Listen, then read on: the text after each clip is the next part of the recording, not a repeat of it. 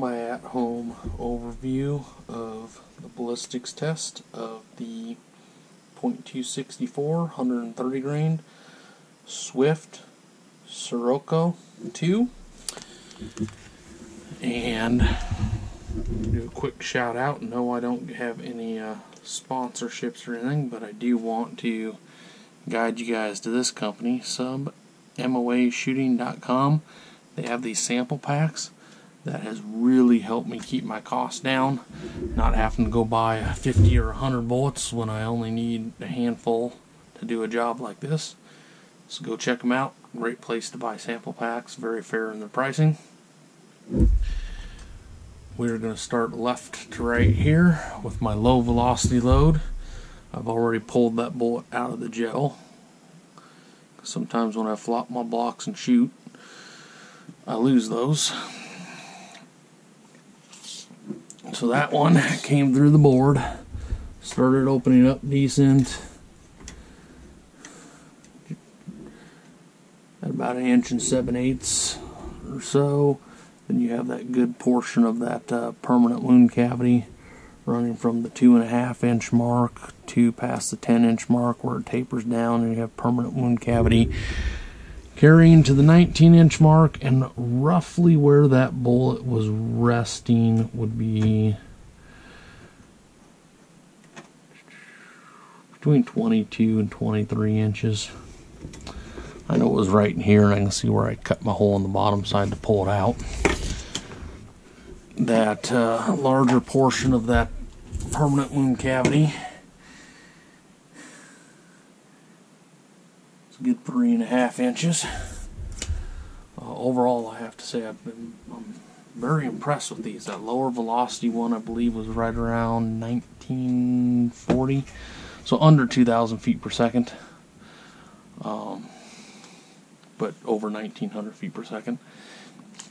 That high velocity load was just over 2,800 feet per second, and it opened up going through that piece of leather and board by the one inch mark. It's opening up good from that inch and a half inch mark to the 12 inch mark. You got good permanent wound cavity where it's tapering down and you got that permanent wound cavity carrying to just shy of the 17 inch mark with that leading edge of that bullet at roughly 20 and 7 eighths.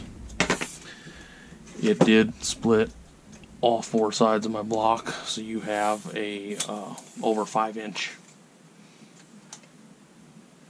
uh, permanent wound cavity there.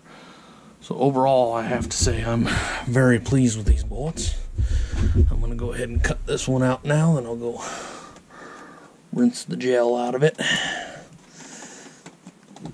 so I can give weight retentions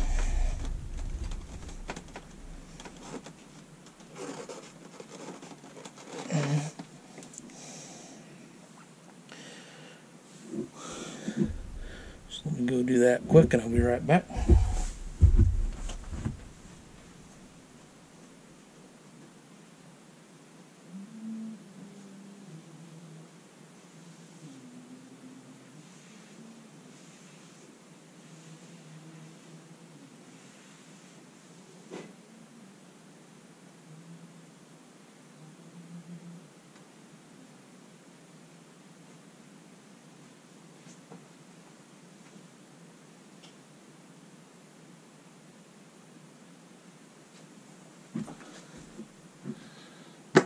High velocity load was 124.7.